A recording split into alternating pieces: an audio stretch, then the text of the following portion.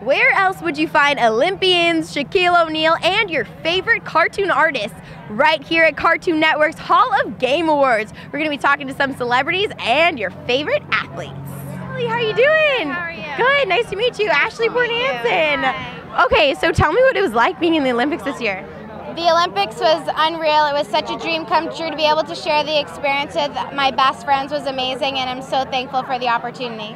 So when you were little, like when did this start? When did your dream start?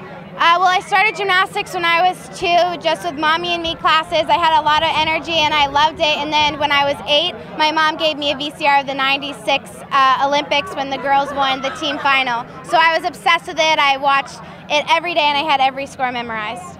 And so when you were like, hey mom, I want to go to the Olympics, was she like, all right, Aly, let's do it? Or was she like, I don't know? Well, when we watched the 2004 Olympics, when Carly Patterson won, my mom was like, wow, her mom must be so nervous. I'm glad I'll never have to go through that. And I got really mad at her because I wanted to go to the Olympics and she had no idea. That was when she first realized that my dream was to go to the Olympics. But they were always so supportive of me, and they were always rooting for me, for, uh, no matter what.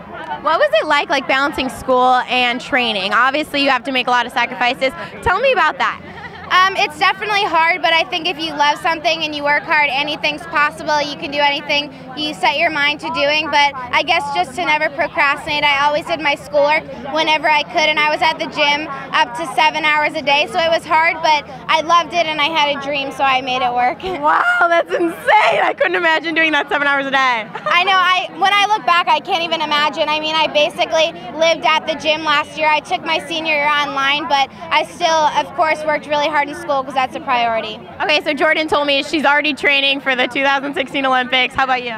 Right now, I'm not training. I'm still busy traveling, but I will definitely begin training again in a few months. All right, we'll keep an eye out for Aly 2016.